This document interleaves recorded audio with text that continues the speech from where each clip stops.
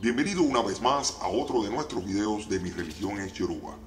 Siguiendo con el tema de las plantas de nuestra religión, ahora les vamos a hablar sobre Akaná. Akaná corresponde a Ogún y a Changó, fuerte como el Guayacán para las gangas y resguardo. Las cruces que se construyen con Akaná apartan las malas influencias, maldiciones y desvían a los malos ojos. Las personas que son clarividentes y se asustan de noche porque ven fantasmas, llevando una crucecita de Akaná, no los verán, pues esta los hace huir, desinfecta las heridas. La resina, reducida a polvo y aspirada, detiene la hemorragia nasal. Al hervir la corteza, hoja y las raíces, se curan los granos y enfermedades de la piel.